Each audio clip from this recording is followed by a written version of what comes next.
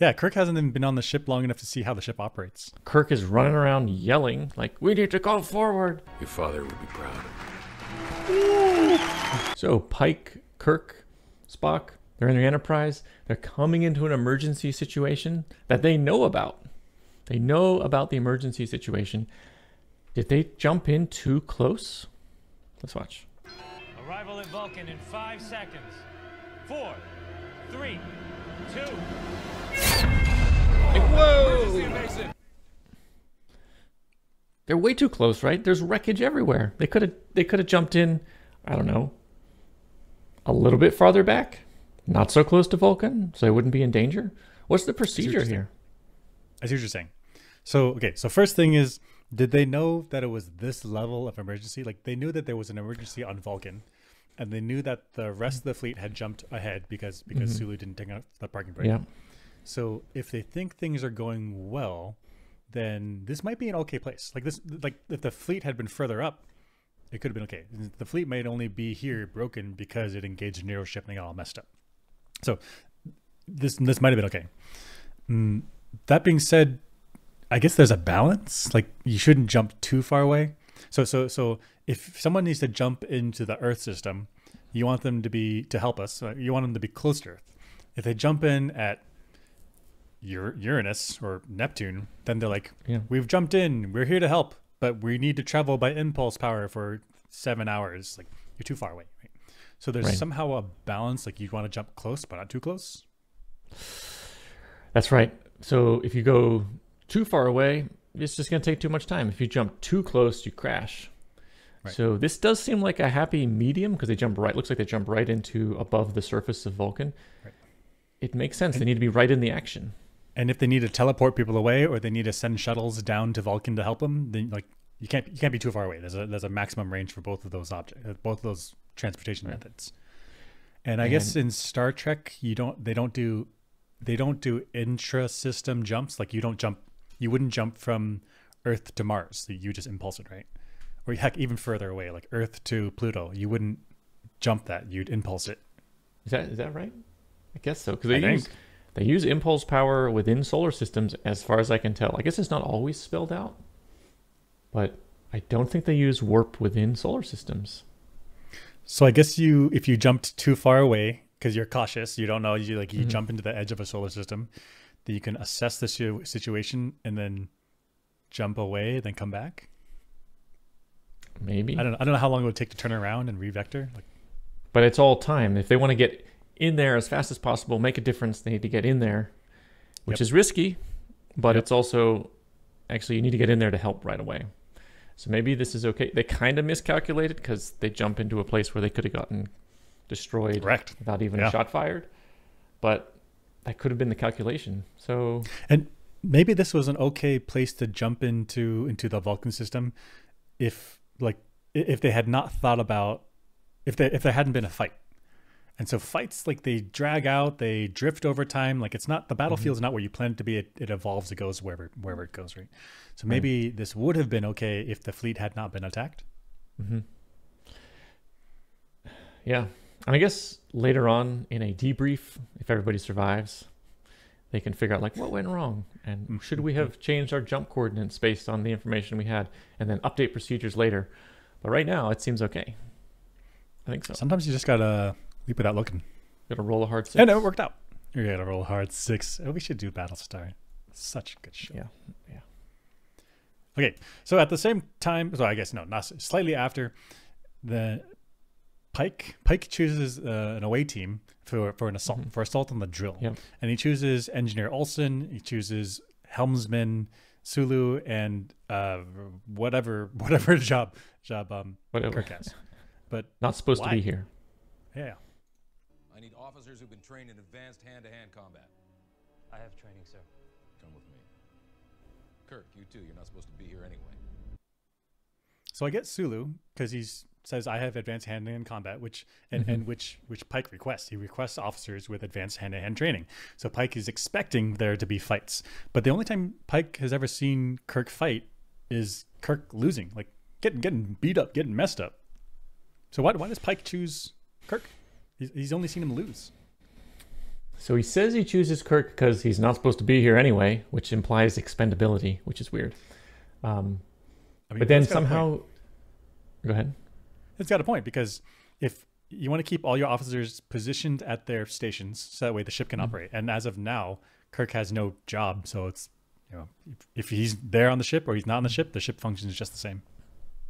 It is kind of a sink or swim situation because Pike is trying to pull Kirk up through the ranks quickly so that Pike uh, Kirk's personality can be part of the leadership of Starfleet. But if you put him on this super risky away mission, it's like sink or swim, buddy. If you Oh, die, gosh. well, I got ten other cadets in the in waiting who are just like you. Interesting. So maybe you're saying Pike's command strategy is to send people on dangerous away missions, and then the ones that survive have this like glory story and they rise to the ranks. Mm. Actually, okay, not not joke. It's kind of true, right? You send you send lieutenants on tasks to like go capture this thing, and then if they succeed, then they climb up the ranks. But you're not you're not going to send an admiral to go do that. Like no no no, you're precious. You do command stuff. Stay mm-hmm. home or home. Stay at base. Right, and if since they can get through the difficult mission, you almost are guaranteed that they got the right stuff. Right, some And people would die, some people won't make it. They may have been made good commanders, but the people who made it probably have the right stuff. That's right. Okay. So So, this is test. this is Pike's master strategy of how he commands. Mm-hmm. Okay, but why does he send? Okay, why does he pull Sulu though? Sulu is part of the helmsman team. Now they're going to be down a rotation. That's right. Because if Sulu is yeah, if Sulu is injured, then there's there's got to be other pilots, right? Because Sulu can't be awake all the time, right? Right. So, but if he if there's say there's three, so that way each person gets an eight hour shift, then mm-hmm. if Sulu gets injured, can't pilot or dies and therefore can't pilot, then the Yep. other two people have to take twelve hour shifts. Like who knows what the situation's going to be after this? So really, you want to keep your helmsman around so that they can fly the ship away if you need to. Right. So that doesn't seem to make sense. And then engineer Olson. I don't know. He's an engineer. He's got to be important Yeah. for engineering in some Engineering. sense. He's just like an angry guy, He's like an angry. He's like ready to go kill people. right? I mean, maybe he's got in the wrong the wrong job. Yeah. Oh yeah. He's like he signed up for Starfleet to do hand to hand combat, but like you're pretty good at math. It's like Hmm. an engineer. Dang it. I wanna go- Wait, wait, wait. But they have security teams. Shouldn't the security guys go in this type of thing? This type of mission? That just doesn't seem to be how Starfleet operates. They send people from the bridge crew and other places on away teams. They don't seem to. They don't have, seem to have specialized drop teams or away teams or exploration teams who are trained and honed in. They send the bridge crew. I don't know why, but that's how they operate. So the most important thing you can do for your Starfleet career is get on the bridge. Do it. Do it. Get on the Get on bridge the somehow. bridge. Get on the bridge. You get chosen for all the cool missions. Don't be under decks. Don't be below decks. Load, load, lower decks. Right. That's for that one cartoon show. That's right. Dang it. That's right. the lower decks guys get passed over all the time. Get on. Passed over get the on the deck. Get on the bridge. Get on the bridge. Yeah, why why aren't the security guys? Okay, but think imagine a Star Trek universe where they did have drop troopers. Like we're like we're hmm. a science, we're an hmm. exploration, we want everyone in the Federation, but we also have orbital drop shock troopers. Oh, ODST. Why do you yeah. need that? Why do you need that, Starfleet? Like, what do you what do you what are you doing when okay, you need to drop troopers down? But they do have dedicated security teams. They have security people. Now they may not be training for dropping like this, Right. but they certainly train boarding and combat. Gosh. Right? What else could they be doing? So, so I think we're drawing a line between defense and assault. Like it's okay for Starfleet to have defense security because we don't want Mm-hmm. people to board your ship, but you don't want. But it, it's a bad look to have assault teams that are like designed for aggression. But that being said, like sometimes if I would imagine that if you're if you have security people that are trained in defending your ship, they are also cross trained in assaulting a ship, right? That's right. In fact, sometimes the best defense is an offense. I mean, that's a ridiculous saying sometimes, but, but it's right. I think right. it's true. Like if you know the only way to stop an attack is to attack first, that's a valid strategy. Or heck, heck, if your if your enemy ships, say like Klingon ships, they have they have these incredible weapons and zero defense. Like, do you just stay there and just take the hit in your shields? You'd be like, hey, uh, we're gonna send a single photon torpedo and take you out. Like, Right. sometimes the offense is the right defense. Right. So, but they don't have dedicated teams, or they do kind of have a dedicated team, but they don't send security people on these missions most of the time. security people aren't on the bridge. I mean, there's like there's one guy. There's one. The, the head of security is on the bridge most of the time. You see, Oh, who is the head of that's right. security on the Enterprise here? It's not even, we don't even know because the bridge crew is Uhura for communications. Yeah, yeah. Then we've got Sulu, helmsman, Helm. Pike, captain, Kirk, Uh-huh. who knows what, first officer Kirk maybe. is junior captain. Yeah, he's gonna get there. Spock is science. Spock is science. Chekov is Engineering. helmsman, helmsman two, Helmsman. Comms. Internal internal comms. something like that. But I, I don't think we're. Int- There's a bunch of other people on the bridge, but we don't know who the security officer is. Did the original series have a security officer? So so T- TNG is is Worf, Worf second, but first before that it was uh, It Tasha was- Yar. Tasha Yar. Thank you. Yeah. And but then they were dedicated security. They got they were at that elevated station, right. and there was a dedicated team for security. Voyager was Tuvok. hmm So I guess does did the original series have security? I don't know because I don't know. I don't remember. I gotta Hmm. watch. I don't know. I gotta go back and watch. Tell us in the comments. I don't. I don't Yeah. remember. And then okay, why did he? Why did Pike promote Kirk? I get he's trying to fast track him up the ranks because he wants that person. He wants that personality in the leadership. But isn't this Ah. too soon? Kirk, I'm promoting you to first officer. What? Captain, please, I apologize. The complexities of human pranks escape me. It's not a prank, Spock, and I'm not the captain. You are. So it doesn't make sense to me. Okay, imagine you're a member of the crew, and you've been on the Enterprise or on other ships for a while. You're you're you're ambitious. You want to get to the top, and then you're like, who the who is this guy? I was in line for the promotion. That's right. Who's this? Who's this kid? Oh, first officer. Oh, wait, Oh. wait, wait. First officer. Wait, cad- wait. Cadet, lieutenant, lieutenant commander, commander, first officer, captain. So, so Kirk skips all of that. So actually, I don't think is first officer a rank though. I think first officer. And Oh, I see what you're it's a little confusing. First officer and captain, I don't think are ranks. I think they are positions on a ship. So you can be captain of a ship ca- without ca- captain's gotta be rank. captain is a rank, but also captain of the ship. So a lieutenant could be a captain of the ship. That's right. Think. Okay, so that's a little confusing, but it's still like if I'm a lieutenant commander on the ship, I've been diligently working at my post for Mhm, years, mhm. And then Talking with my manager, figuring out what's the next step, and so I can advance my career. Having those Yeah. uncomfortable conversations. Yep, every six months. I'm Yep. on time, doing my training, doing everything, Mhm, and then Going the this rule breaker, annoying kid comes in Yeah, and just takes my Does- spot. What? doesn't even know the layout of the ship, doesn't know how things operates. Mm-hmm. I think at this point he hasn't even had a meal in the ship. Doesn't even know the mess I hall. mean, yeah. So I, I as my, as that officer, I'd like know my competition. It's like, oh, you know, Bill got it. I understand that he was also qualified. But now all of us are upset at Who's Kirk. Like, who who Who, the, who is this guy? who is this guy? Right. Yeah, Kirk hasn't even been on the ship long enough to see how the ship operates. That's right. He doesn't even know the personnel. He doesn't know. Nope. Nope. Nope. It's Doesn't have wild. capabilities. Wild. Yeah. Hard fast tracked. Hard. I mean, this is the hardest of the hardest fast track. I studied your dad when I was in the academy, and I liked him, so I therefore like you. So you're come on, you're first officer, First officer. First officer. Straight to the top. straight to the top. yeah, weird, but Weird. oh, it worked out.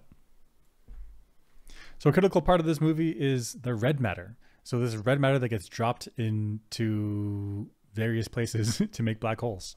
Um, but what is it? What is it? Prepare the red matter. Yes, sir. Okay, so this ball that like floats, Yep.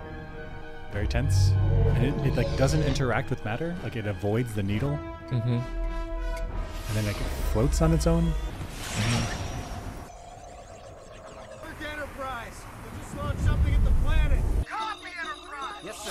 Captain, gravitational sensors are off the scale. They're creating a singularity. They're creating a black hole at the center of Vulcan. Yes, sir. How long does the planet have? Minutes, sir. Minutes. my Oh, god. Ah, super cool. Yeah. The black hole eats the planet. Whew, it's gone. All those lives. Silence. Silence and a black dot in space. So my question is, what what is this? So it's making a black hole, Mhm. and so it's this red fluid somehow that that makes a black hole. And I guess what is a black hole? It's it's yes, they come from supernovae. So when a star collapses and there's just so much mass into a small area, uh, then it then gets a black hole. Um, but actually, you can make a black hole kind of with anything. You just need to compress it down to a Schwarzschild radius, to a to a, a mass. Uh, you make take any. You can take any. Here we go. You can take a chocolate bar and make a black hole if you compress it down to a small enough size. So Um, I think so- I think for the Earth, the Schwarzschild radius is three centimeters. So take all of the mass of the Earth and crush it down to three centimeters. Here's one, so three Yeah. centimeters, and then yeah, that'll make a black hole. Yeah, don't don't quote So- me on that, but it is absurdly small. something like that. that. Yeah, you really don't. Yeah. You got to crush a lot of mass. Yeah. And so, so that's my guess for what red matter is. It's a mass generator. It's a mass creator. You somehow drop it into place, and then it creates mass, and then the thing collapses. So maybe it couples to the Higgs boson, something, something. I'm not high So- energy, high energy Okay, physics. okay, okay, okay. So that's a good idea. So somehow in the containment field where it's in that big, huge red ball on the ship, Mm-hmm. it's somehow sup- that's I'm rolling with it. It's somehow suppressing. It's emitting. It's a heavy Gib, uh, Higgs boson emitter, but the containment field somehow stops it from doing that. But when it's released into the planet, it emits so many Higgs bosons that the mass of the planet shoots up real quick, which causes a quick collapse. Right. Causes this big gravitational anomaly because you've just you've just created mass and then collapse. I guess. which means not only is the tech for the red matter super advanced because somehow they just in the future they figured out how to manufacture it or mm-hmm. or just they discovered it. But the containment fluid itself is also super advanced because somehow that's stopping this chain reaction. Yeah, exactly right. It's somehow making this thing inert and independent by itself, but then once you drop it in and it comes contact with the planet, yeah. then chain reaction generating mass black mm-hmm. hole. so that fluid must have some really really special properties Exotic. to be able to contain this like wildly powerful material You mean the fluid like this this clear liquid? yeah yeah yeah Ah, yeah, yeah. Because without the clear liquid, the red matter is useless because you can't store it Right. It'll just touch the walls of your container and then start the chain reaction. and start the chain reaction. So, but somehow they've alongside the red matter, they've also got the red mat, the anti-red matter. I guess Which is it- clear matter. It's not anti-red matter. It's a, an, a It's red matter neutral. nullifier. Yeah, there you go. That's even Yeah. better. Because it's not So- anti. It's not destroying it. Right. It's just making it not do the thing. Yeah. That's- So that's- uh, this is this is a real thing, right? With weapons and explosives and stuff, Mm-hmm. you want them to go bang when you want them to go bang, but you also need them to not go bang when you don't want them to go bang. So storage, Bang, bang, no, not bang, not bang. right? And actually, you like on ships and in storage, things can go off when you don't want them to, and that's bad. So you want it to mm-hmm. be like hyper inert when you don't want it to go bang, and then like truly explosive when you turn hit hit the switch. So red matter super overpowered, but they also have the storage technology. Amazing. Under underrated, underrated. We always talk um, about the red matter, but what about that transparent matter? What about that transparent? Totally underrated. Yeah. Cool Look ship much- though. Look how much it's containing.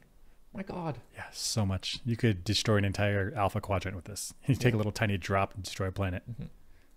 Why? Why? This is so much. What is the Vulcan Academy doing? My Just God. make a little bit. Send the ship for a little bit.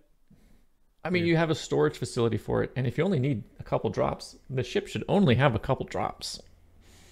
Good point. Yeah, what maybe- If, oh my gosh, what if what if Spock's ship gets stolen? You don't want to be releasing all this red matter out into unknown hands, Mm. such as this. That's right. Oh my God. That's a mistake. That's a big mistake. Cool ship, though.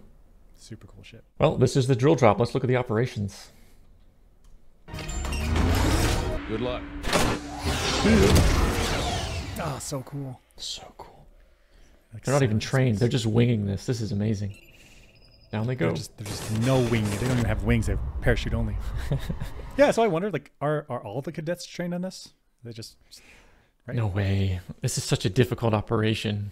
And such a rare operation. Why, why would you train your cadets? to Be like, if you ever have to ODST, if you ever have I to know, right? drop, high altitude, wait, high altitude, low opening. If you ever have to do that, like, Yeah. get ready. Also, does the physics of this make sense? Because if you're in orbit, then you're moving at orbital speed, which means as soon as you start entering the atmosphere, you're going to burn up. But it looks like they just Oh, drop. They're not actually in orbit. do we know the mass? Do we know what the atmosphere is like for Vulcan? Because I I can imagine if was, if the atmosphere is really thin, then would you get enough friction to burn up? I mean, on Earth, you start to burn up really, really high up there. Oh, so the yeah. atmosphere is thick. Okay, I, I gotta flip it. If the atmosphere is really thick, would you burn up? I think that just means you burn up at a higher altitude.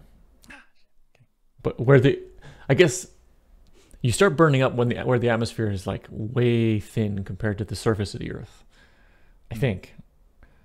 And so, thick Well, I- I guess, atmosphere, the, I guess the key thing is, I guess the key thing is your your speed relative to the gas density, because you need what is the burning up? It's gas is hitting you and depositing kinetic energy into you, and then you're getting overheated. That's right. So if you're moving at orbital speed, the gas density that that causes burn up Mhm. is actually fairly low. Very thin. I see. I see. Um, but they do go far enough into the atmosphere that they can breathe when they're on the platform. So they definitely transitioned to a thick enough atmosphere. They should have burnt up somewhere here. Which I think means they're actually not in orbit. They're just sitting there. They're actually not in orbit. They're just sitting above the planet.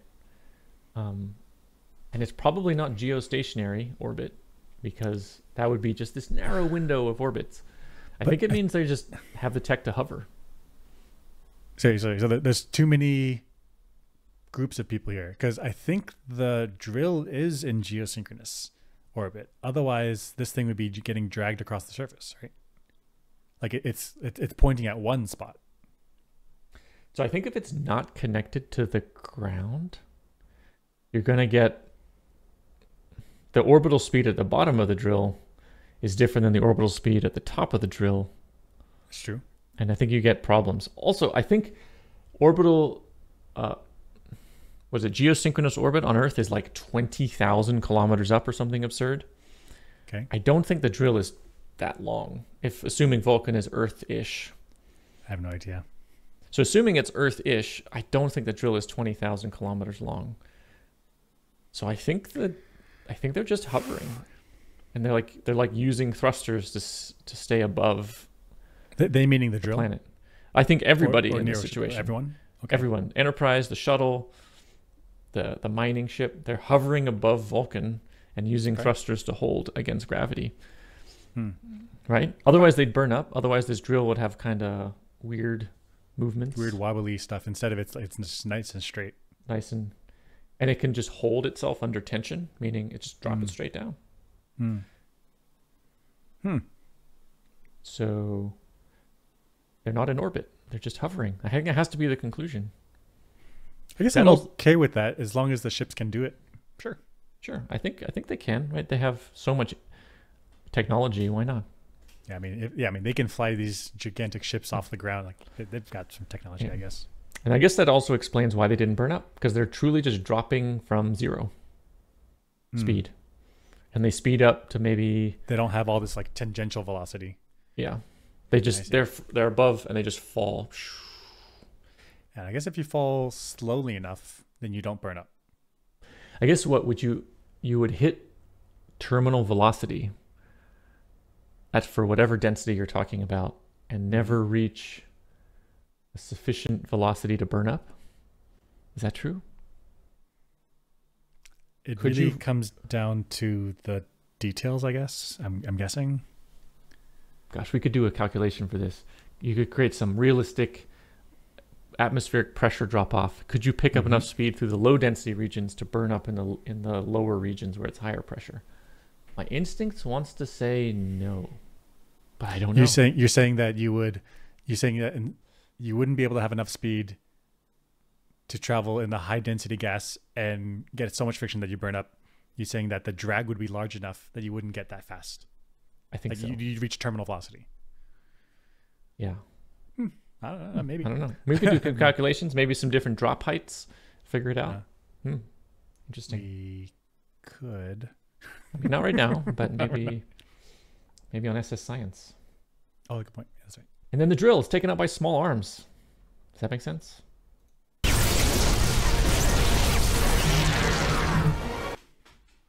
So Kirk and Sulu are not really aiming at anything in particular, but they're able to disable the drill. Does that make sense?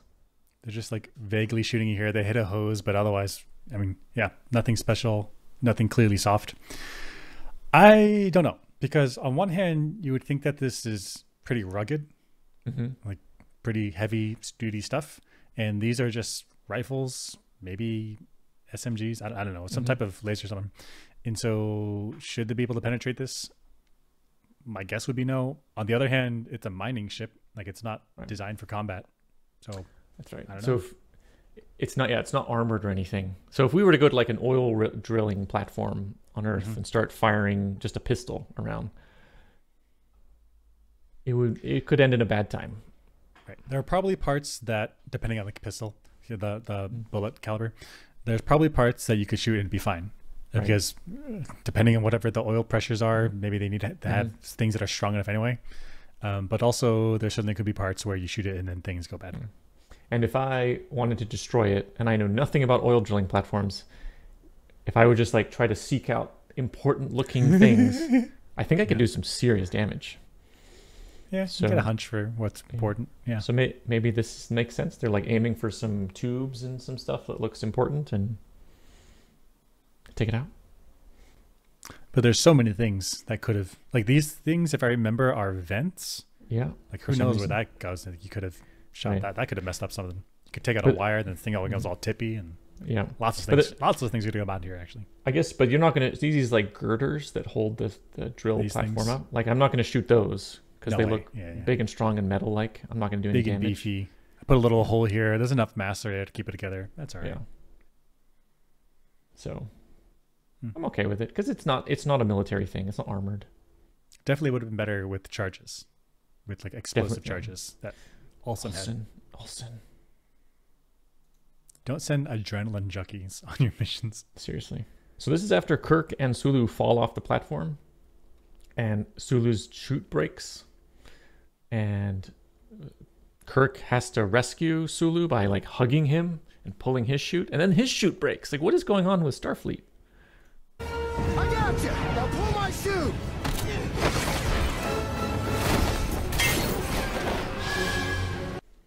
Okay, wait, why is that a big deal? What do you mean? Oh, I mean, so Kirk is probably what 180 pounds. He's not Sure. He's Yeah, just yeah, yeah. A, you know a Yeah. fully grown man, but nothing crazy. Yeah. And so Sulu is similar size, so they're two fully Yeah. grown men, maybe 300, 400 pounds total. Okay. And the chute is designed with such tight margins that it can't handle two men. Oh. This is crazy. Like oh, that needs to be well with two people. So, so, so they they were three. We're estimating that they're like 360 something pounds, right? yeah, But it really should be designed for 500.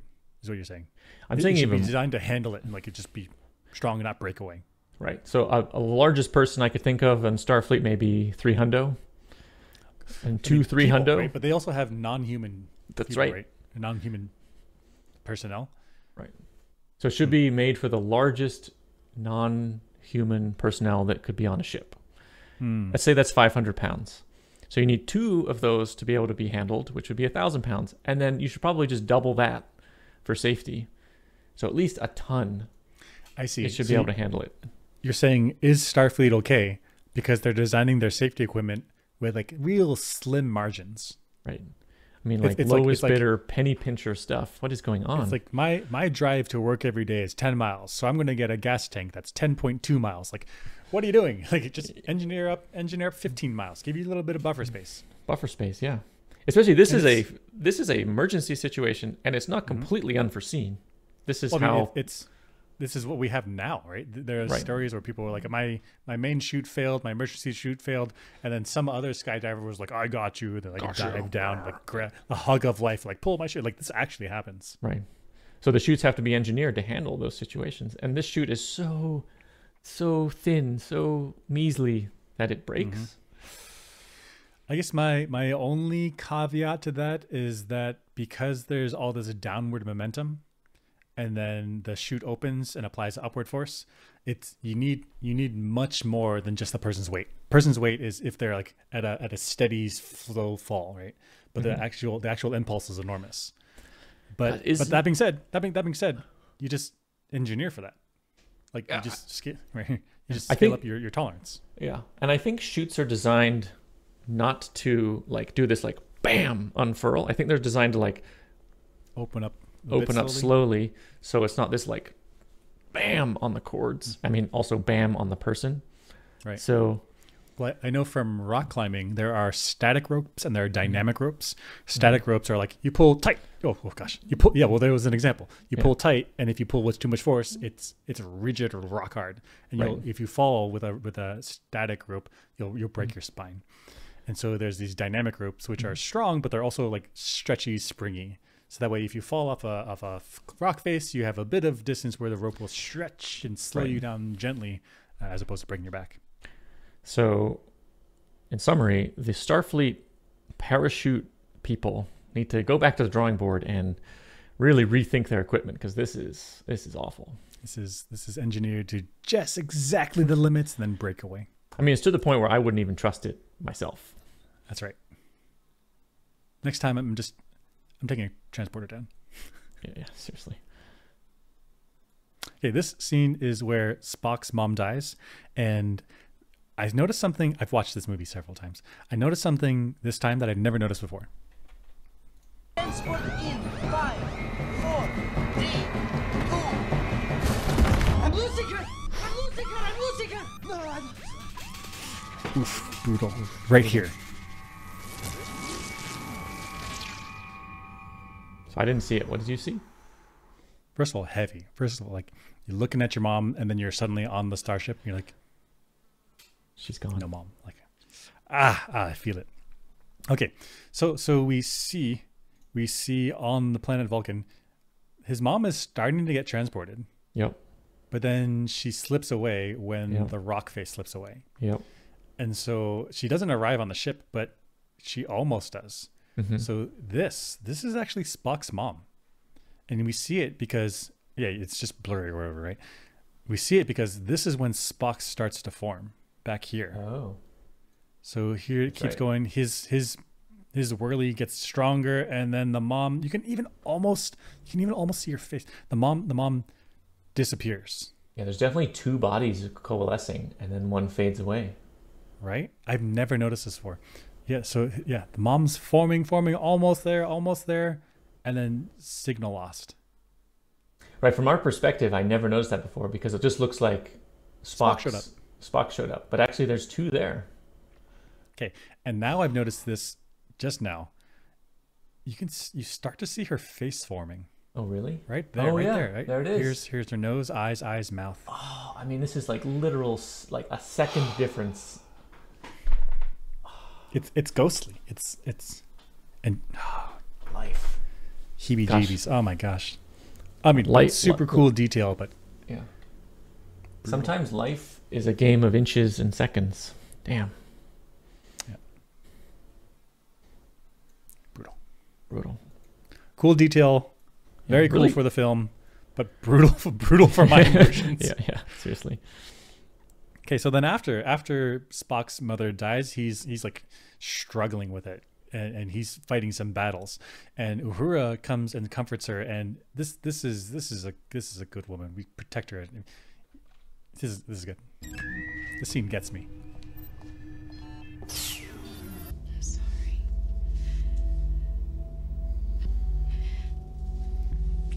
So she's comforting him and and physical touch is her love language so she's like trying to give it to him and she's trying to give it to him and at first he's he's like he's in shock his mother just died his planet just just got destroyed into a black hole and he's he's like blank. He's like autopiloting. He's he's he's he's in shock, and, and so she hugs him, and then he gets he he caves in, and he like cr- he craves he he caves in. He he receives that affection from her, and and and he goes in for it because he needs it.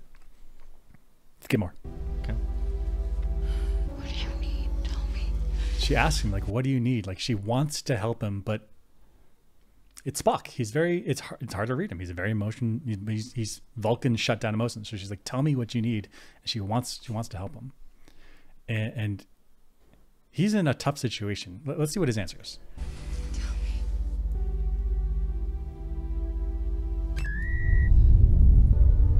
Everyone to continue performing admirably.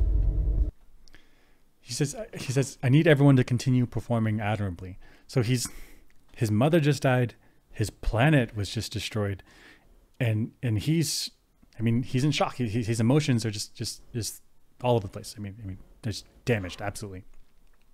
But at the same time he's he he's Spock. He's half Vulcan and and he's been raised and he- and he internalizes all the time like shut down the feelings, shut down the feelings, logical logical logical type. But not only that, he's now the captain of the ship. So it's it's it's extra not the time for him to be feeling anything going off in emotional problems. So he's so he he buttons up, he tightens up, and he says, "I just need everyone to continue performing admirably." And Uhura, I mean, he's basically saying, "Leave me alone, right? Leave me alone. Go back to work." And Uhura reads it, and it's not really what she wanted to do. She wanted to help him, but you can see you can see how she's processing it and she says that's what he needs. It doesn't feel good for me, but that's what he needs. I'm going to do it. Right there.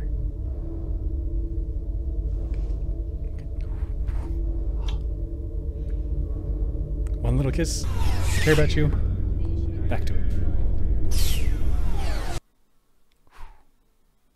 Heavy scene. Oh, fantastic acting. Fantastic. Yeah. Brutal, brutal scene. Hmm. But also super good scene. Super good scene because it's nice to see Spock have that type of relationship. That's true. It to- totally is, yeah. On the other hand, this is a wildly inappropriate bridge relationship. I mean, two people on the bridge crew in a romantic relationship got to get in the game. They're like over in the corner supporting each other emotionally. Like, uh, Yeah. people like yeah. the ship. Okay. E- e- okay. Okay. I guess I see what you're saying. So even even if they weren't in this dire situation, you shouldn't have bridge crew dating each other and like helping the captain make decisions because they're gonna be biased. That's right. Yeah. And who who has more influence over the captain right now? The first officer, whoever the hell that is, or Ahura? Uhura. Ahura. Which that's not her place. Inappropriate. Inappropriate. I mean, okay, touching. Beautiful. Yeah. But this is an inter- Jerk. I said something nice. Okay, No, she did everything right to support her significant other. Yeah. I don't actually Yeah, yeah. don't there's boyfriend, significant other, Somehow super serious. I'm not sure, Somehow, but somehow, she somehow. supported him. Great. But inappropriate. Yeah, that's right. That's right. It's inappropriate. I mean, if you're in battle, let's say you're in like heavy combat, people get losing people all the time. Everybody has to sort of be in the game Right. and continue to operate, function admirably. If they're all like these two people are in a relationship, supporting each other in the corner, and those two people are having a fight right now, like this is like an active fight. Okay, I think this is actually true. Like this is something in the military where if you you're not allowed to serve in the same group or something as your significant other. Is that right? Yeah. I wonder how it how it happens in real situations where, you know, you put people in the same room, stuff happens sometimes. Stuff I wonder happens. how Yeah, yeah, yeah. People fall in love. they deal with it, yeah. Hmm. Jerk. So this is McCoy, and his his line is always, "I'm a doctor, not a physicist." Like even back from the original series, super fun, super fun. Um, from, Mhm. like this is cool. Okay, but he actually like maybe he should be a physicist. Where did the Romulans get that kind of The engineering comprehension necessary to artificially create a black hole may suggest an answer. Such technology could theoretically be manipulated to create a tunnel through space-time. Damn it, man, I'm a doctor, not a physicist. Are you actually suggesting they're from the future? If you eliminate the impossible, whatever remains, however improbable, must be the truth. He's like, I'm a doctor, not a physicist. But then he he listens to Spock, understands everything, and interprets it out in his in his own words, and he's exactly right.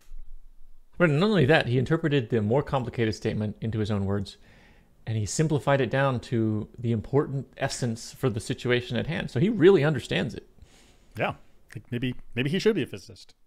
Because the ability to take something complex and distill it down to something simple for relevant for the situation requires a level of expertise that he's saying he doesn't have. That's right. A level of expertise where you can identify what's important, keep it. What's not important, throw it away. And so he distills the idea down to just the core stuff. Gosh, I see this when I'm teaching all the time, teaching physics, mm-hmm. and st- teach students to draw a picture. And This is mm-hmm. actually a tremendously difficult skill because you have to draw exactly what's relevant and nothing more. Because anything mm-hmm. else is just clutter that takes away from the understanding. But if you don't draw enough, it's oversimplified to get the wrong answer. So drawing a picture that's simple but complex enough and dialed in for what you need to know is actually a big skill, difficult skill absolutely. to learn. And often students put no detail or they put too much detail. It's hard to dial that in. The fact that Right. he's able to do it verbally Verbally and on the fly in tense situation. wow. Okay, but my fun thing, my fun thing is is he says I'm a doctor, not a physicist, and I am a physicist, but I'm not a doctor. So I'll go around and I'll I'll, I'll switch I'll swap it around like I'm a doc, I'm a physicist, not a doctor. And so so like I'll see someone like see someone like falls down on their bicycle and it's like are they injured? And they're, they're like oh my hand. I'm like I'm a physicist, not a doctor. Like don't ask me But then you quickly repair their arm with with physics. with No, with a doctor. Like I am a doctor. Also do this with like like somebody chipped their tooth at work, and then I was like, "Is his tooth chipped? I don't know. I'm a physicist, not a dentist." Ah, yeah. One time my cat was sick, and I was like, I have no idea what's going on. I'm a physicist, not a doctor or vet. Not a not a vet. Yeah, yeah. Like, Yeah. Oh yeah, yeah, yeah. Okay, okay. Okay. So I was I was I was doing a neighborhood one of the evening walks with with my with my lady friend, and and there was this dog that was like bark bark bark bark bark bark right, and I was like I was like ooh puppy, like I walked up to him, and she's like no stop, like not friendly, right? And I was like, I'm a physicist, not a animal mental transfer psychologist. Like I can't psychic. I'm not an animal psychic. It's like but clearly the dog's like bark bark bark bark bark. Like, okay. This is an interesting scene because I agree with Spock. I agree with Spock. Kirk wants to take on Nero, but I feel like he has no plan, and Spock is making sense.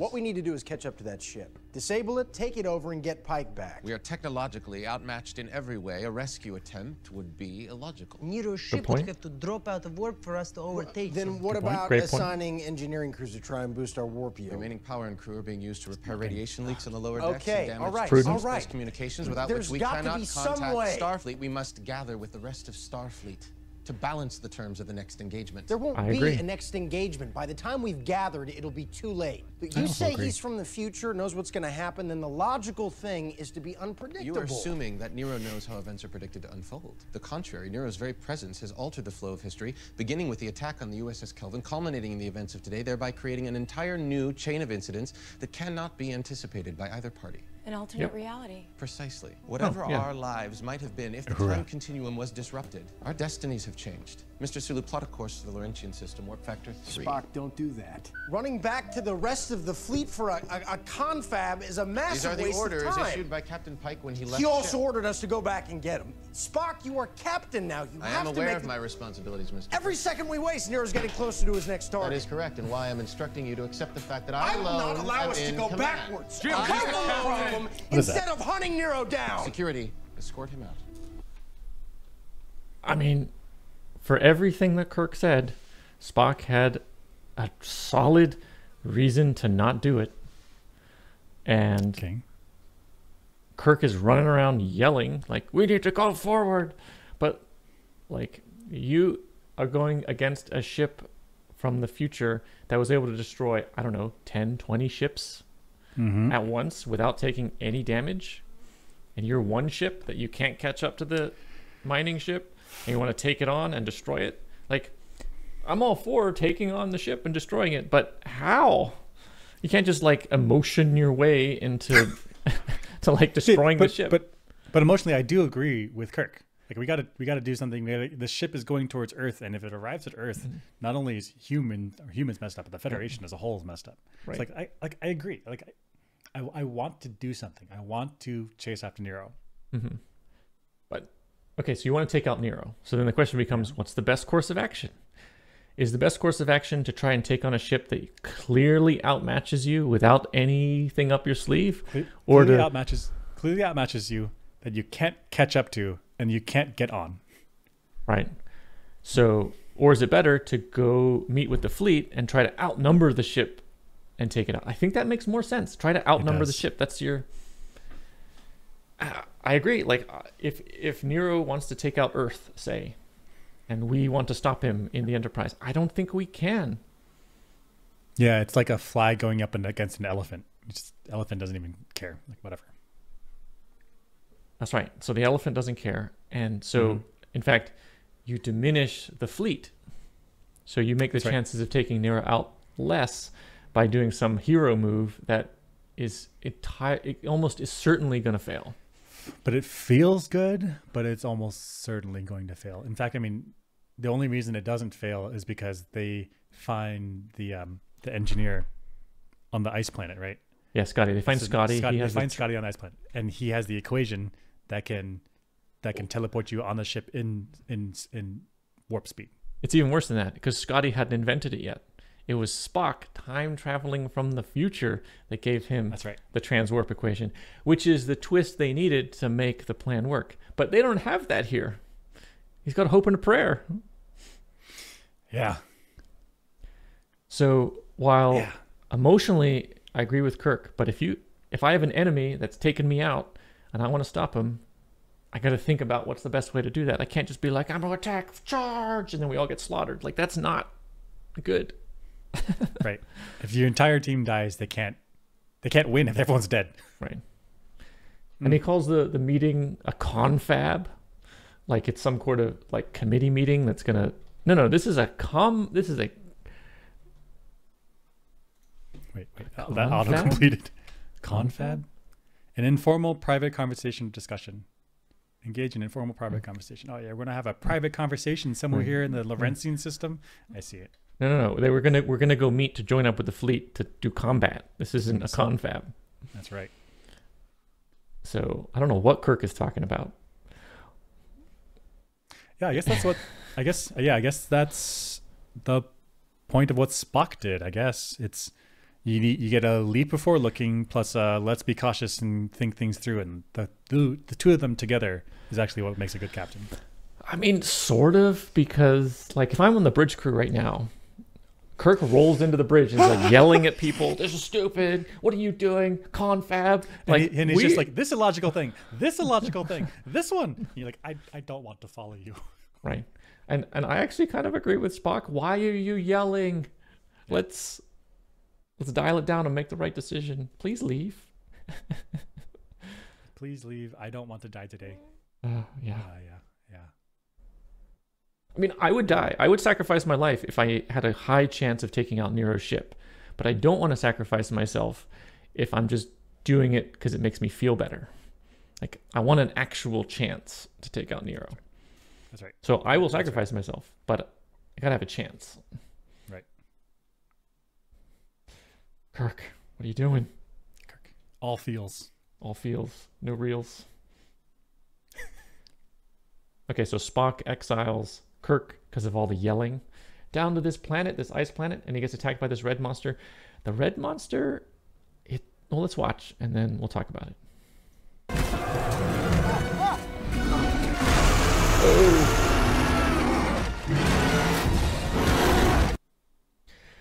So the monster you can see in the still right here is all thin and spindly, and he's got membranes in his mouth, and he's slobbering all over the place. Mm-hmm. So the slobber represents it could that's a lot of evaporative cooling. Okay. The fact that he's long and spindly means there's a lot of surface area to volume, so that's a lot of cooling. Mhm. And the fact that he's got membranes, that's a ton of surface area per volume. That's a lot of cooling. So we've got this animal that looks like it's not designed for cold because it's got a lot of cooling. Oh. So that seems weird. Yeah. So you're saying you're saying, given this environment, frozen environment, Mhm. you would expect this creature to either have a lot of fur, Yep. or to be blubbery. Yep. Blubbery, like like a like a seal or walrus. Yeah. And, and They're- round. they're- and Yeah, roundish. the blubbery and round and round. So you get a lot of mass for the amount of surface area you have. Yeah. Because and that's Yep. that's a good thing because the more the more surface area you have divided by your your your mass, so the more the more exposed you are to the environment, the more you're going to leak heat out. So like this real thin section here is just leaking heat out in all sorts of different directions. Yep. Yeah, it looks like this thing shouldn't live here. So I think maybe we can make it make sense if this animal has just a super super high metabolism all the time. Oh, okay. Which means s- he's so got if- if it- access to if it generates wait wait wait, Yeah, yeah, explain that so you, if the metabolism if the metabolism is high enough it can generate enough heat through its metabolic process to that it can afford to lose all that heat and still be okay Right. So the I see. the evolutionary pressure is like get a cool design for hunting. Don't worry about heat because we've got plenty of energy to expend on metabolism. our heart rate's super fast not a problem yeah. i see So that means this creature has access to food, like lots of it, that is accessible pretty easily. Hmm. Otherwise, cooling would be more of an issue, which means Right. it's not going to waste its time chasing down Kirk. It's high effort, low calories, yeah there's just not enough food in here to sustain this thing right? And yeah even if he does catch Kirk, like he's expended how much energy in the process? That's chasing after it not worth it Which means I think the creature's playing with Kirk. Like he's not actually chasing him to eat him. He's chasing. It's like, oh, creature, let's, let's have some fun. And this is how the animal has fun. Oh, yeah okay i see it i see it yeah Because the animal's like tumbling down mountains and yelling at Kirk and having fun, just having mm-hmm. fun. Did he really right. ever make a serious effort to take out Kirk? I didn't see it. Look at those claws. yeah this this animal clearly outmatches kirk if it wants kirk should be no problem but that's the fact that he doesn't get kirk means he's playing He's playing. He's having a good time. And Kirk doesn't recognize it. He's like, ah, teeth, you're scary. Run away. Yeah. Run away. And he's like, why is he running away? I'm trying to have fun. Play with me. Play with me. So he's like, play with me. hmm So Kirk is the cat that's trying to run under the bed. Hmm. And the red This- thing this is the human. You notice his head down low, just like a puppy play pose. They put their head and paws yep. out. Yep, yeah, yep. It's this. Is this? Yep. Look at his his claws on his his uh, forward limbs. I didn't even see this. They're fully re- they're fully like put away. Yep. He's Uh, not trying. Here's my here's my murder mittens. I put them Yeah. away. put them scared. away. They're not out front looking to slash. They're they're back Hmm. here because I don't want to hurt you. But these pointy teeth are pointed to you, towards you. But that's because that's how I talk. I want the sound to go to you. Yeah. It's very windy outside. Yeah. He's playing. He's playing. I see it. I see it. You got there through energy. yeah. yeah. It's tight logic. So, old Spock rescues young Kirk, and Spock explains to Kirk the situation through a mind meld. I think the explanation is fairly lousy. Let's watch. I promised the Romulans that I would save their planet. We outfitted our fastest ship. Using red matter, I would create a black hole, which would absorb the exploding star. I was en route. When the unthinkable happened, the supernova destroyed Romulus. I had little time. I had to ex- H- how did the supernova just kind of sneak up on Romulus? What do you mean? Like- the star exploded. But I mean, we this the timeline of stars is millions, billions of years a lot of the time. Billions, yeah. And even a supernova, which probably is this really fast process, could probably take a couple hundred years. Like it could start showing signs, I see what you're saying. and it happens so rapidly that Romulus was see what you're saying. completely unprepared. It just like So it- oh whoops. I think I've oh gosh, I did this calculation years. I don't remember the answer. So so the the actual supernova event, so like the Mhm. collapse and explosion, is very fast. Very fast. but the build up to supernova event is very slow. Like Yeah. for example, for for Earth, where we we have this prediction that the sun is going to expand and and envelop the Earth, but it's like billions of years. Like we know it's coming. You have plenty of time. And so the Romulans, like they're they're they're no they're no slouches. Like they're they're very technologically smart. They're very scientifically good. So they should know this is coming. So so how did they get surprised by an explosion? Like they they have ships. They had plenty of time to get everyone off planet. That's right. And also, this has to be the star that their planet is revolving around. It can't be a star nearby because that's going to be light years away. In I which see. case, the shock waves are going to take. Well, okay, say it's two year light years away. That's the closest star to Vulcan, or sorry, yeah, Okay. to to uh, Romulus. Yep. Then the supernova happens, and they have minimum two years. If yeah, if the if the if the gas of the star is expanding at the speed of light, which Right, which too it's fast, not. It's uh, too a fast. conservative estimate, right? Then they would still have two years from the flash to like gas is coming at us. We got two Mm-hmm. years to evacuate. Plenty of time. plenty of time. So I don't think, which means the star in the Romulus system is the one that exploded. But Yeah. that means they're so unprepared for this when they've been watching the star go through its buildup to supernova over time that they've made no preparations. They're just they've just made no adjustments. They're They- and they they do a last minute hail mary to the Federation. Yeah.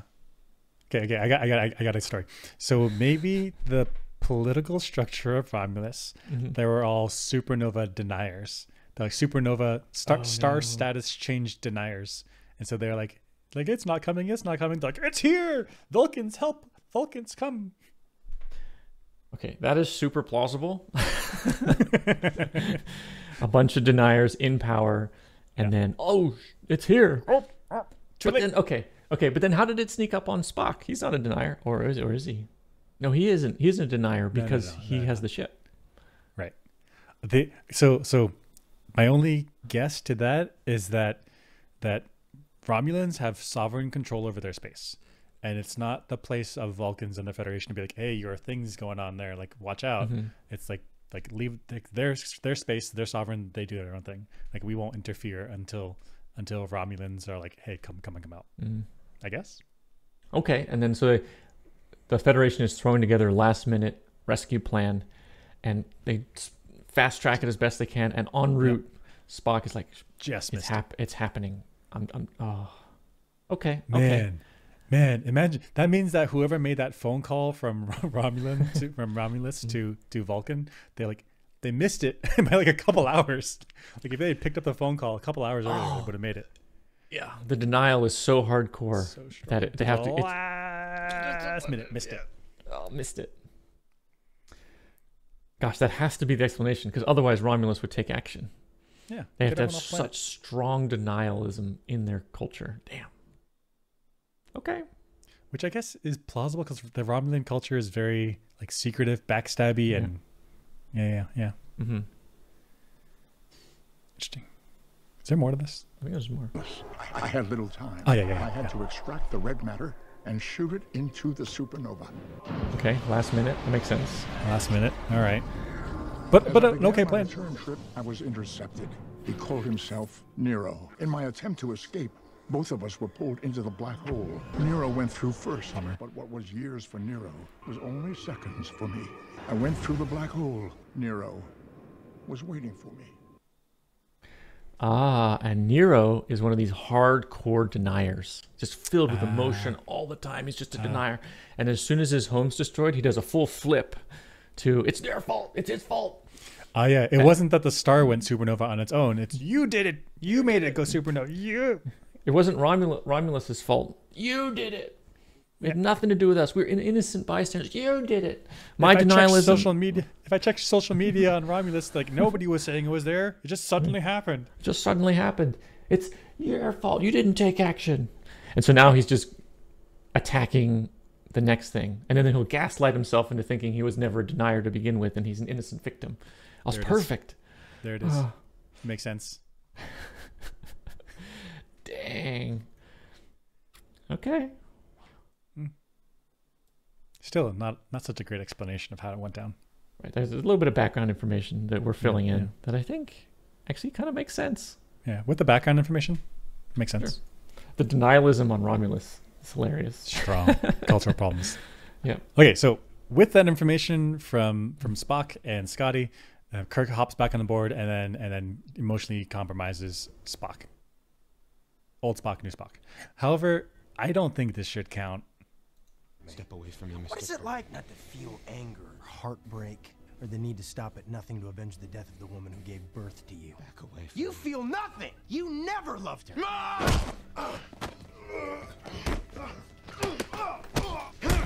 Oof.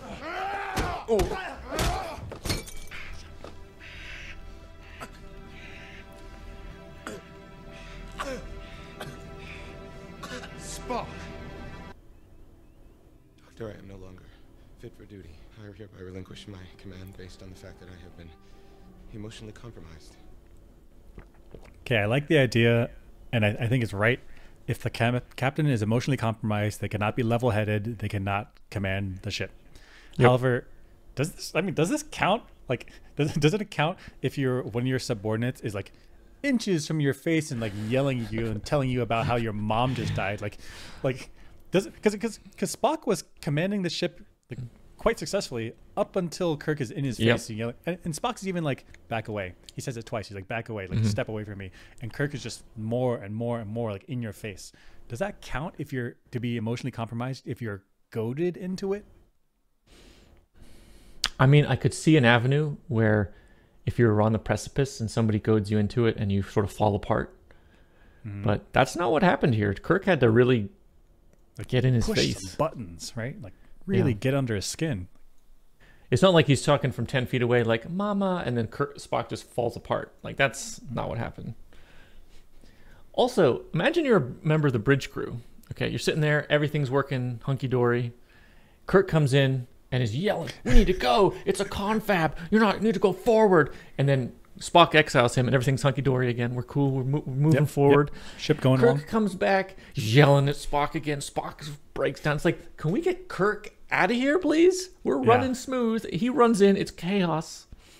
And then Spock resigns, and now Kirk is the captain. We're like, "K- I don't want him here. He just What is this absolute shoot show of a ship? Like what? Right. What is no no discipline, no order? What is happening here? The guy who comes in with like yelling and emotional volleys, Mhm. ruining the camaraderie on the bridge, is now captain. Like, And his and his friend is wet. Like why are you wet? How did you get wet on the ship? Yeah. And now you're captain. and now you're captain. Who is it? Get, please leave. Get, get him out of here. oh gosh. Just fist fight on the bridge. No good. Yeah, I don't No think good. this should count. This shouldn't count as it shouldn't count. compromise. It shouldn't count. I think he is emotionally compromised, and he should have But- but recused himself earlier. But he is handling it, Yeah. and in in war, which this is now very very combat warlike, Mhm. everybody's on the edge. So you got to pull it together. Yeah, and not, Spock's Spock's mind, he's still thinking. He's Mhm. making logical decisions, tactically wise, tactically safe. Should be fine. Yeah. I agree. Uh, so this is Chekov talking about Saturn's rings. He talks about Saturn's rings using magnetic interference to hide them. I'm not sure I understand. Let's listen. If we drop out of orbit behind one of Saturn's moons, say Titan, the magnetic distortion from the planet's rings will make us invisible to Nero's sensors. So he's saying the planet's rings have magnetic distortion. But I think if we aim telescopes at Saturn, we don't see any magnetic distortion from the rings. I think we can just look at so. the rings. They're, they're effectively look- just rocks. They're just rocks. Yeah. So is he saying that he would br- they would bring the Enterprise behind the rings and literally just block the light? And then that's magnetic interference? Oh, I see what you're saying. So you're saying it's a, so so Chekov is like if we position our ship in the shadow of Saturn's rings, that'll be magnetic. like it's not magnetic. it's just it's just being in the shadow. But I mean, technically, because light is an electromagnetic wave, and the rock is blocking the light by diminishing the electromagnetic wave, it's essentially some kind of I mean, magnetic interference. I mean, this is really a stretch. yeah, I mean, okay, okay, okay. So, so you're saying light is an electromagnetic radiation, mm-hmm. light wave, and so anything that messes with a light wave is magnetic. I mean, that means that right, my right? shirt is magnetic Yeah, radiation because you Yeah, can't yeah. see my skin. You, can't see me because of magnetic interference. Like, That doesn't. that doesn't go. so I wonder. I wonder if. But Chekov is super smart. Yeah. So I wonder if he he knows like magnetic interference is like the buzzword is like the right thing to say to get Kirk be like, oh, oh, oh yeah, okay, yeah, I don't understand that, so I'm gonna trust you. That's right, and we're gonna do that. And tactically, tactically, it's right. It worked. Right, right. It worked. so that means Chekov is able to like read the room and like drop the buzzword that needs to get his point across. Mm-hmm. That's advanced, like reading people. What an absolute chat. What an, what an absolute hot Oh. shot. Hot, yeah. 17? Damn. He's 17. In fact, he says it here. Ready, ready, ready. Yeah. Captain Cook! Captain Cook! Check out. What, what is it? I have projected that Nero will travel past Saturn. If we drop out of orbit behind one of Saturn's moons, the magnetic distortion from the planet's rings will make us invisible to Nero's sensors. And we can beam aboard the enemy ship. Wait a minute, kid. How old are you? 17, sir. Oh, oh, good. He's 17. What an absolute hot shot. I mean, I mean, he's 17, super young, like in Star Trek universe, super young, but like, he's right, right, right. Yeah. So, okay. He's so got the stuff. He's not only 17, and he's on the bridge, which is amazing in its own right. He's able to play the captain using like buzzwords and social games to get what he thinks is the right move implemented. Mm-hmm. So not only does he have the brains, he's got the social skills. He is top level. Mm-hmm. In cardio for days, he like runs around the ship. That's right. he doesn't he doesn't miss a beat when it comes to his cardio training as well. Mm-hmm. mm-hmm. Should make him the captain. I mean, He gets captain eventually, right? Eventually. Yeah.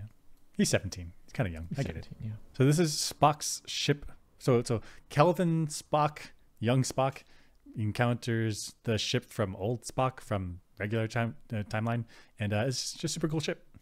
The design of the ship is far more advanced than I'd anticipated. Voice print and face recognition analysis. Welcome back, Ambassador Spock. Oh, that's weird. Computer, like that. what is your manufacturing origin? Stardate 2387. Commissioned by the Vulcan Science Academy. You're gonna be able to fly this thing, right? Something tells me I already have. Okay, super cool chair. I want this chair. It does not look comfortable.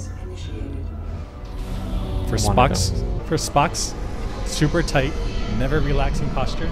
Yeah. Look at this cool ship. It has like this So spinny cool. guys and like a jet Mhm. out of the back. Looks like a squid. So yeah, the ship is like is like an entrance, a Yeah. cargo bay, and then a tube. A tube that's like Mhm. that, that where you walk to the captain's chair. Yeah. And really, that's it. Like the ship does not need to have lots of stuff. It's just exactly what it needs. Very elegant. Yeah, And even, even where the pilot sh- sits, even where the pilot sits, it's like out here in front. And yeah, you're going to lose some line of sight to the side of the ship, Mm-hmm. but you've shoved the pilot away in the front. They can see a pretty large angle. So you, the pilot probably has very good awareness of what's around them. Yeah, Right. So his his cone of vision is pretty pretty large. Right. So it's kind of cool. super cool ship. And I guess the cargo bay is built entirely around the red matter. Like Mhm. it's specifically designed to. To hold something of that size. I don't know if But I'm thinking not only that size, but probably that specific thing. maybe. Right? Is that right? Or do you think this is just a an, any old cargo container and they just put the red matter in there? Gosh, the That- red that's matter. my is- hunch. Really? That's my, that's my hunch because they because old Spock said like we rushed, we got our ship together or something. right. You you see them doing it, so they probably didn't design a ship around it. I guess I guess if they did, if they did take like. Like if Romulus was like, "We need help," and, and Vulcans were like, eh, "Give us like a couple years to R and D a ship." like, okay, if that happened, I understand why Nero would be angry. I figured they just took an old ship, whatever ship they had around, and then repurposed it and shoved a shoved the red matter in there. But that mean, that would mean when Nero is angry, he's like following the development of the rescue mission. Like there's delays because there's a committee meeting about He, which would design we should go have for. That's right. Actually, so if if that's the case, he should be rushing, you know, evacuations. Oh, but he's a denialist. But then why is he following the ship design? Post facto, post facto. Uh, maybe he looked it up after it happened. May- I don't know. Okay, Cool ship though. cool ship. Weird like squiddy vibe to it. Yeah. So okay, this is Nero taking on Kirk in. Gosh, what is the name of the ship? That is Nero's ship. Uh, no, something. I don't know. Yeah. I don't so know. they're on they're on it's Nero's even Nero's ship.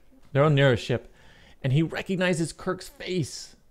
What? I know your face from Earth's history. James T. Kirk was considered to be a great man. He went on to captain the USS Enterprise. So my head canon for this is they've been hanging out in this time in this timeline for 25 years. Okay. So they got to occupy their time with something, and Nero has been a been studying up on his history, like many cultures, recognizing faces, knowing the lore of different cultures, Peoples. so that like he knows he knows so much history that he is down to the captain level of the Federation. Like he knows all the leadership, he knows everything top down. He's he's down to the captain level. He's it's, been studying. even, it's even it's even better than that because because this at this stage Kirk is still young. Kirk is Yeah. just becoming a captain for the first time. He hasn't done his amazing feats that would have Mm. put him into the the the annals of history, and so so w- in which case he would be recorded as as old Kirk. So that means Right. Nero knows Kirk's face at different stages of Kirk's life. Like, Yep. so he's memorized like, oh, this is a 55 year old Kirk. This is a Mhm. 27 year old Kirk. This is a like, Yep. he he has incredible face memory. Like he's like flipping through pages and memorizing Yeah. every and he doesn't know he's going to encounter Kirk specifically. Yep. Right? So he's just memorizing like every Federation captain's face at different stages throughout their life. Right. So that means Vul- so what the three founding members are Vulcan, Andoria, and Earth. So you mm-hmm. got to hit all three. So he's down to the captain level for at least those three. And then there's like hundreds of other planets that have joined since then. And they all have members of Starfleet. So he's got to remember all of them too because he doesn't know he's going to encounter Kirk. So he's got Mhm. this huge library of faces and knowledge about the Federation history. I imagine because he's been studying it for 25 years. I mean, so actually he's quite the scholar He's a scholar for yeah. history. He's held onto that rage, but he's also a scholar. He's also a scholar, yeah. And so to end the fight, Spock, young Spock, crashes the ship into the Nero ship, but but he crashes. Mhm. He destroys. Actually, he actually destroys both of the ships. And my thought was, does he? Does Spock, as a Starfleet officer, does Mhm. he have a duty to preserve to preserve these ships? I think so.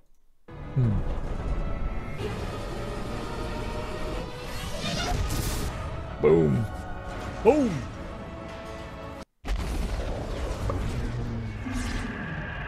Black hole. So he Spock sacrifices the ship and, and all the red Mhm. matter on the ship. Yeah. So this is this is technology. So so there's two things here. There's technology of the red matter that the Federation could have Mhm. used either either weaponized or as a stopping other supernova events, and that information is gone now. Mhm. Also, the ship, the the ship. I, I really think that there would be a standing order for all Federation officers to capture any foreign, any alien technology, and especially true of future technology. Now, now you might worry that oh, there's timeline issues. Like you, you don't want technology from the future because then it could you, you could affect the timeline. But we're well we're well past that. So the timeline has been altered. It's been forked. It's a completely different timeline. In which case, this technology is not from your future. It's from a future that no longer exists or, or, or exists, but you can't access. However you want to think about it. And so I think you really should have captured and we should should have kept both vehicles, because who knows who knows what if they had this technology when Mhm. humans encounter the Borg. Humans may not lose so bad to the Borg. I mean, we win eventually, but so many people die. So really, you should cap- you should keep preserve the ships, preserve the ships however you can. Okay, so how? Okay, this was their method to take out the ship, right? How were they going to disable uh, the Narada? That's the name. Nero ship is the Narada. How are they going to disable the Narada without this method? Because if they don't take it out with the red matter, they seem to not have the capability to take out the Narada at all. So this is kind of like a hail mary attempt, and they destroyed both ships because they were Spock was forced to. It, so they blew up the Medradar. That created the black hole that pulled the Narada in, pulled the Spock's new ship in, and they lost them both. If they want to preserve them, how would they go about not destroying them but disabling them? I'm not sure they have the capability. Could improvise some kind of like partial red matter thing, but now you're like, I don't know how the containment works. No, I got it. I got it. Okay, ready, Okay, ready? okay, let's hear it. Let's hear it. So on Spock's ship, they have the hypodermic needle where they pull out red matter Yep. and put it inside a tube. Do that. Do that again. Teleport it in. Teleport it just, in. Just teleport the red matter into the Narada, and then Spock's ship survive. So yeah, you lose the Narada, bummer, but which would which would have been super good because then you have alien groups technology, but at least you get to save Spock's ship. And that's Is that right? is that in. guaranteed to work? Maybe a um, drop works for a planet, but won't work for a small ship. Send a bunch. Just teleport, teleport, teleport, teleport, teleport. Dep- I guess if you have a bunch of those syringes, you send. I wonder could, could you even just teleport a chunk of the of the ball? Just there's a big old red sphere of red matter. And just teleport just directly out. Just send a bit. Or heck, if you, just, if you have three syringes, do it. Yeah. No, I, I, gosh, I like the plan. Gotcha. I like it, but the fancier you get with the plan, the the less likely it is to work. So instead, just Right. ram it, More get it done, points. take it. That being said, ram it. Mm-hmm. You got to get close. If you just do a kind of close-ish nearby, then teleport in, that might be even easier. Stay out Can of you targeting range. can you teleport red matter? Because I have no idea. the advanced Narada ship had to take it into the syringe and like throw the little probe down into the planet. They didn't seem to use the teleporter to do that. Maybe it's unteleporterable. So it's and it's adva- the Narada is advanced because it's from the future. Yeah. However, it's a it's a mining ship. Yeah. And so I I would imagine that the this jewel of the Vulcan Science Academy, this Mhm. is better tech than the Narada. Okay. And I don't know if we ever see the Romulans teleport. Can they? I think they, probably. they, they must Probably, be able probably, to. They have probably. to be able to. Yeah, yeah, yeah. So okay, and remember, Earth is on the line here. Like the Federation is on the line. If they mess this up because they were trying Yeah. something fancy, then they lose everything. So a, a guaranteed victory is better than an ideal victory. Unless you could like do a quick test that didn't reduce the chances that much to try to save the ships, so you could use the tech, Hmm. and then this is your backup. Gosh. So you're saying take a quick trip to Romulus, send little red matter in, see if it works, and then you come back and finish the fight. Yeah, yeah. Just a little do a little diversion. Yeah. Oh, okay. Oh, yeah, yeah. Wait. So Nero, okay. So Nero almost destroys the Federation. Yeah. He's like fully, fully angry, right? But Yeah. in this universe, it for this timeline, first of all, it's back in the past, and then it's a different timeline. Couldn't Yeah. Nero in those 25 years just go to Romulus and be like, "Oh, the planet's here still. Like, it, it's okay actually." And in fact, in fact, he should deliver his ship to the Romulan Empire because it's it's high tech compared to whatever this was, however many years in the past, right? And that would give Romulus, that would give Romulans a huge leg up in the Alpha Quadrant. Mhm. I In which case, then he doesn't need to do anything. they would dominate Starfleet. He doesn't need to Romulans do would do- just, and, and he would have helped his people. Right. So he would have helped his people, and then the Romulans would have dominated the Federation, not only the Federation, but the Klingons and the Cardassians, all of them. Right. Mhm. And they would have been able to take on the Dominion years later because their tech would be so advanced. Mhm. So why didn't he do that? But he did say that they, him and Romulus stand apart. Like he holds a grudge so much that future enemies that haven't even been born yet will not allow him to go take it to Romulus. What? I don't get it. Uh, He's such what? It doesn't make any sense. I mean, I'm I'm I'm I'm very confident that if he showed up, he's like, "I'm from the future. I'm Romulan. You're Romulan. I want to give you this tech." Like Romulans be like, "Yeah, yeah, yeah. Yeah. We like weapons. Yeah." Yeah, they'd be totally. even if they didn't turn it into weapons or whatever, they just use it as a mining ship. They made more of the mining ships. Like, yeah, we like faster resources. We like big ships. Sure. Sure. No, absolutely. He decided weird not Nero. to. T- yeah, Nero is a weirdo, studying history, holding on to grudges, denialist, I'm, I'm too busy reading these books to advance the Romulan culture. And, and an amazing captain. He holds his crew together for 25 years. it's true. He's all that over conviction, the place. that conviction, uh, it's inspiring to the crew. So Kirk wins. Spock slams the red matter into the Narada, creates the black hole. Narada's toast. Kirk hangs around firing weapons for no reason and puts his entire ship and crew in danger. What is he doing? Arm phasers, fire everything we've got. Pew pew pew pew pew. Okay. The- Hanging the out. Narada's toast. Like it's done. Yep. Like what?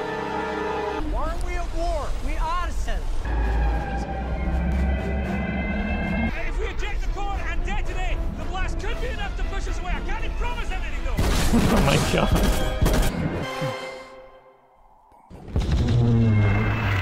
ah, so cool. So cool.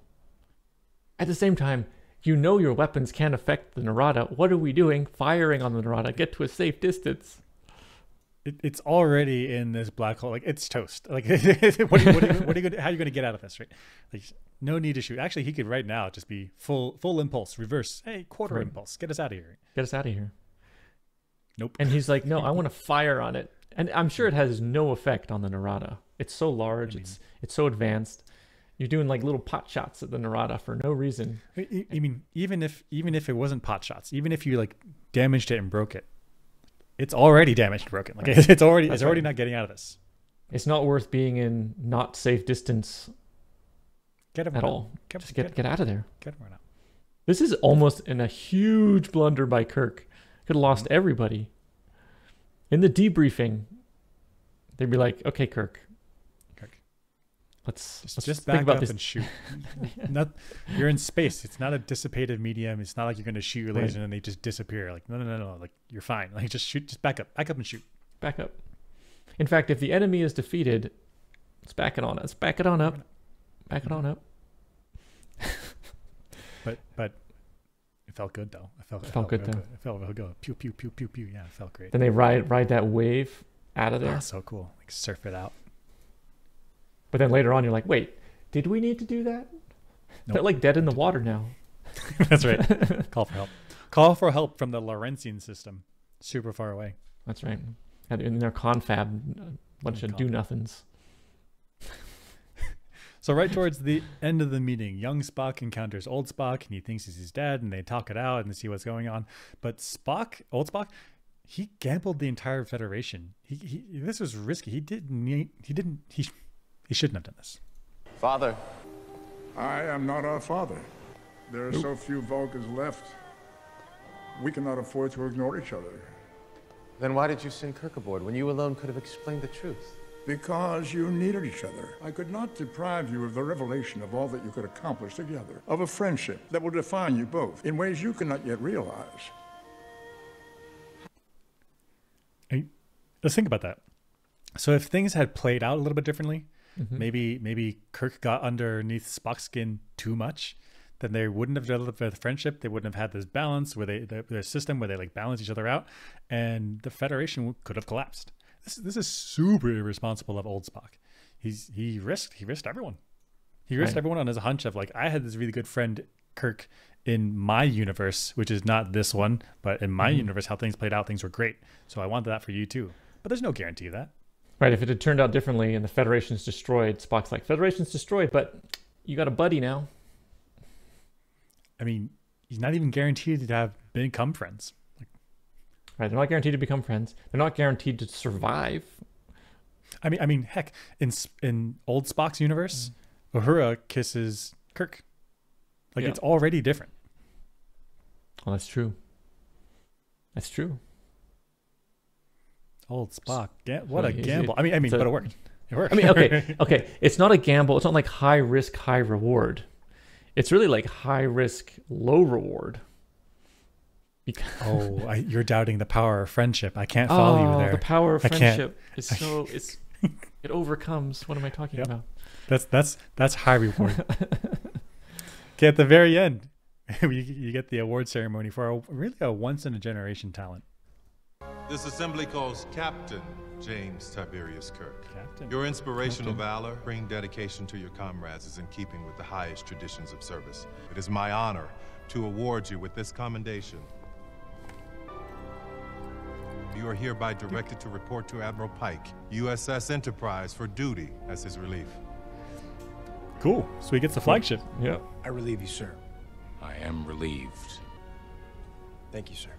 Congratulations, Captain. Your father would be proud. He drops that line. Your father will be proud.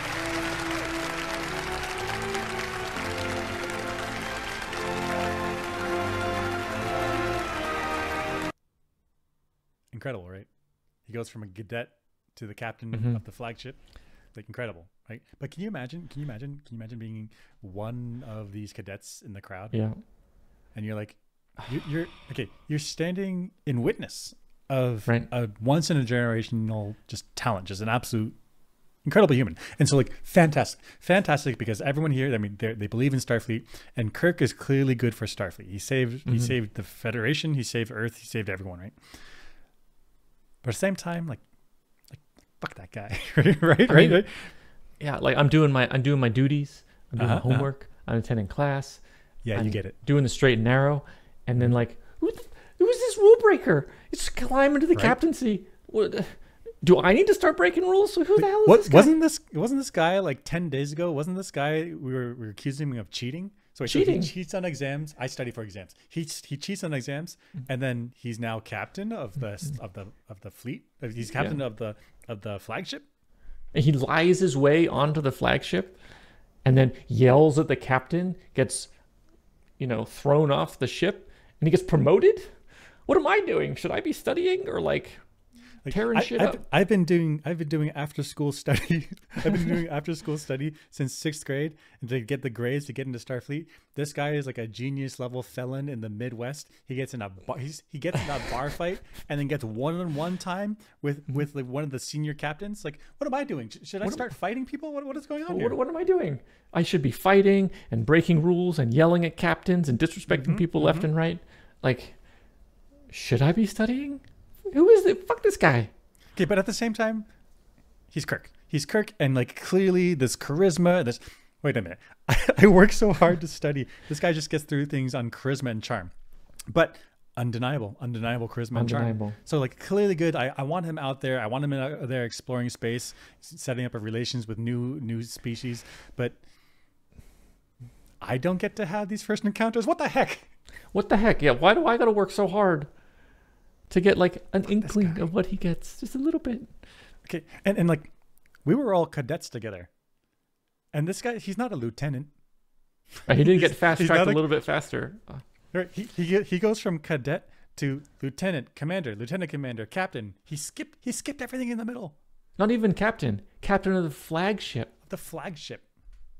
Okay, but I, but I get it because like he saved all of Earth through through like through guts through through chutzpah. I don't I don't know. He, Yeah. He he has the right personality to be a Starfleet captain. Like I see it, I get it, I recognize it.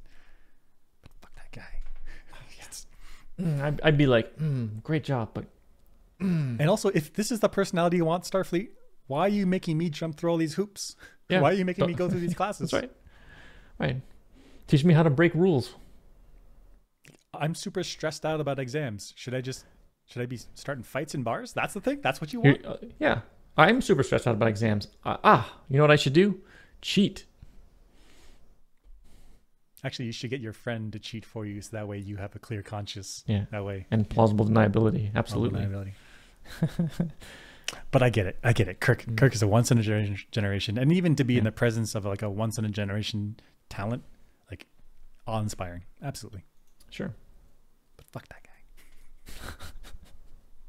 Cool. So that's our analysis for That's Star. Trek 2009, and we do have some questions. Questions like, what would have happened to the Alpha Quadrant politics if both of the future ships had been captured by Starfleet? I think Starfleet just becomes super dominant. We don't need to be nice to other people anymore. That's right. I think if, if the Romulans got their hands on it or Starfleet got their hands on it, whoever gets their hands on those two ships, they would have been the dominant power. Yeah, since since they both blew up or get sucked into the black hole, then we're still at parity. Parody. Yeah, that's right. Yeah. Uh, and what is Kirk going to do now? I always thought when I saw this, it was going to be five year mission was next, Hmm. but that's, I guess five year mission is after the next movie. Later. And I think that's Mhm. related to our next question is how will Starfleet recover now that one of their two fleets have been decimated? And maybe that's Right. why that maybe that's why the Enterprise doesn't go on a on a 5-year mission yet because they the Starfleet's just too Uh, weak. They're just depleted. They need to like manufacture ships, so they're going to keep everything close to home for defense. Yep. I mean, the fear so. that would have been created through this whole incident in the public would be intense. Like like an active call to all humans have babies. We need to rebuild our fleet. Mm-hmm. Yeah.